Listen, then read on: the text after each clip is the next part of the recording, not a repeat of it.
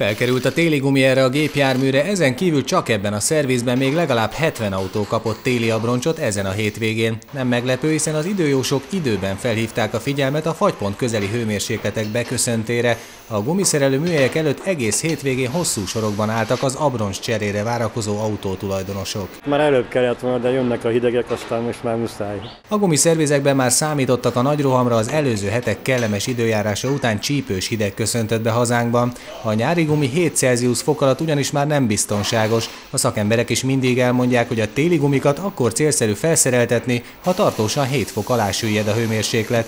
Nem a külső hőmérséklet számít azonban, hanem az aszfalté. Hiába süt a nap ugyanis napközben, ha az éjszakai kora reggeli fagy miatt az országút már nem tud felmelegedni. Fokozatos énnek az autók.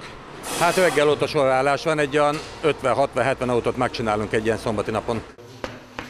Bár hazánkban még nem előírás, de a külföldre utazók ügyeljenek arra is, hogy néhány országban kötelező a téli gumik használata.